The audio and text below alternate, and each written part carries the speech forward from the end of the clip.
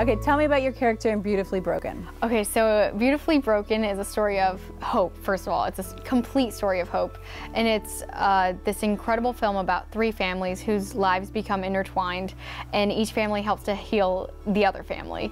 And I play Andrea, who at 12 years old experiences an event that absolutely destroys her. Um, it makes her feel alone, it makes her feel unseen, and it makes her feel essentially like she doesn't matter as a person. And Throughout the film, you see her trajectory through pain, and it isn't until she reaches out to a pen pal in Africa, Umahosa, and eventually reveals her pain to her family that she's able to find so much hope and realize that she's not alone and she does matter, regardless of how somebody has treated her and regardless of what she's been through. So what is it about her best friend that she, you know, she's just writing her, it's just a pen pal, but it becomes her best friend. What is it about um, her that she sees in her?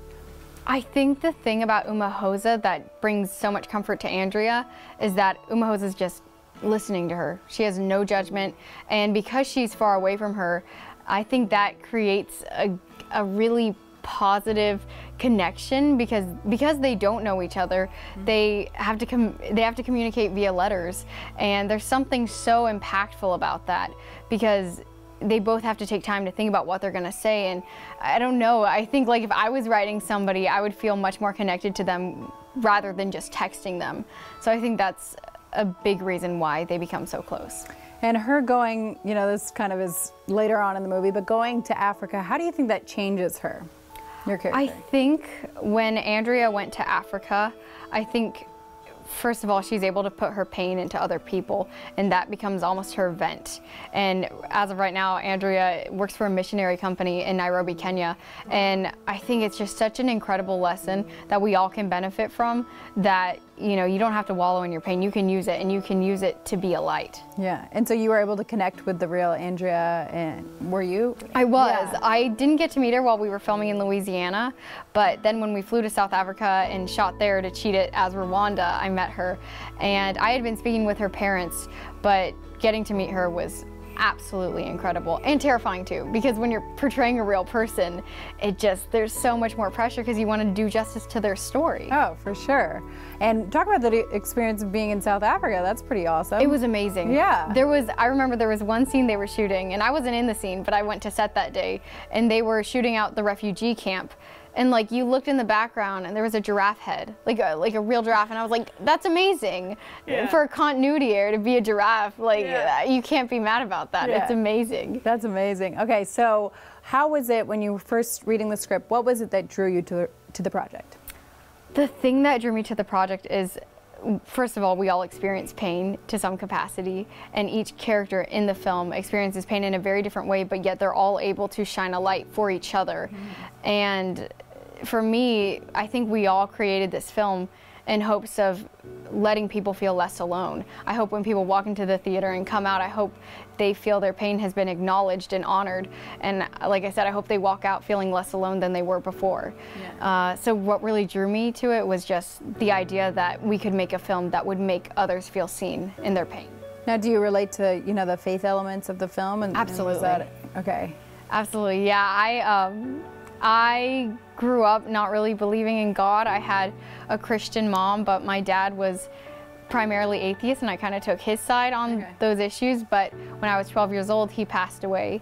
And I actually, that's when I started developing my faith. And I was kind of at a dark point and I was like, God, like transform this pain. And I literally prayed, I said, God, please bring a project along that I can pour all my pain into. And a week later, Beautifully Broken came along. Wow. So it's just an incredible, um, incredible thing that he did yeah. to bring all of us to this film and use our pain to shine a light. Well, that's awesome because your character, you know, she kind of comes to faith. Um, they don't necessarily show it, but it seems like she comes to faith kind of later, like absolutely. teenage years or whatever. Mm-hmm. And so you were kind of in the same in situation. The, absolutely. I think it's so interesting. We usually tend to think we should hide our pain, but really when we use it, we go so much further and you know, we shouldn't conceal our scars. They they are what make us beautiful. Not to quote the title of the film, but it, they are very important in our journey. Yeah.